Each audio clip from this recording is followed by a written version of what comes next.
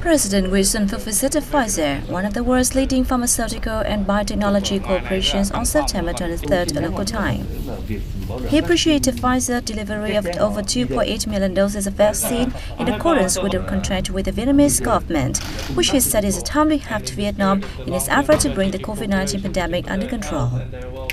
He asked the company to increase its vaccine supply for Vietnam as soon as possible in September and deliver the 31 million doses within this year under the contract signed by the two sides. The president also requested that Pfizer early set a roadmap for the earliest possible handover of vaccine for children aged 12 to 18.